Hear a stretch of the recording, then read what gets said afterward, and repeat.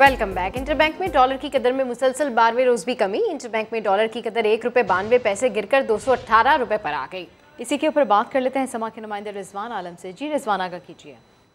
जी, बिल्कुल। आज भी नए हफ़्ते का आगाज़ है और अब आज भी हम देख रहे हैं कि करेंसी मार्केट में डॉलर की कदर गिर रही है। इंटरबैंक मार्केट में एक रुपए बानवे पैसे डॉलर की कदर गिर चुकी है और ये जो है दो दो सौ उन्नीस रुपए पर आ गया है।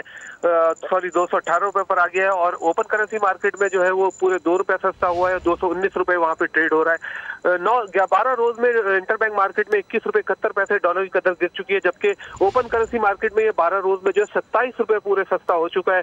इतनी ज़्यादा बड़ी कमी के बाद पाकिस्तान के जो बैरूनी करते हैं उसमें सत्ताईस सौ अरब रुपए से ज़्यादा की कमी आई है। जी। बहुत शुक्रिया रिजवान आलम आपका।